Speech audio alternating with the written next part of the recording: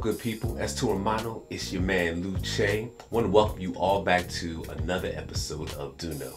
I don't claim to know everything, but I do talk about what I do know. So let's get into it. Let's talk about feelings.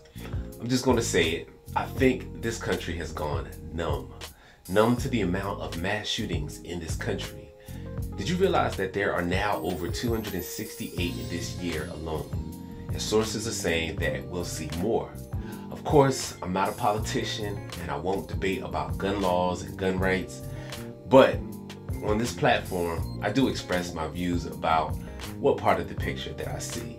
It's important to me that people begin to feel, um, feel angry about this, angry enough to do something, angry enough to vote and get people into office that feel something for the people and not just their own pockets.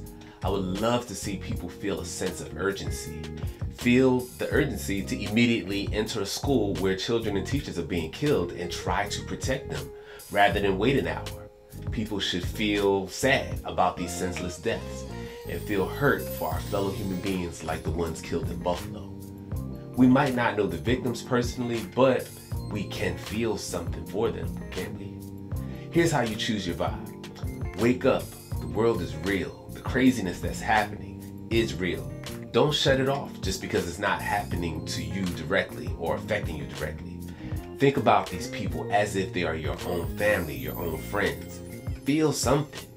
I believe in the power of prayer, so I feel that it's necessary and very important to talk to God about this because this is way bigger than all of us.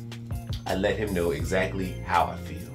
And finally, don't wait until later or until tomorrow, but reach out to your loved ones now. Tell them what you feel for them. Let them know that you love them because tomorrow isn't promised. You feel me? Blessings to you, my friend. The universe knows your name. This is Do Know, and I'm out.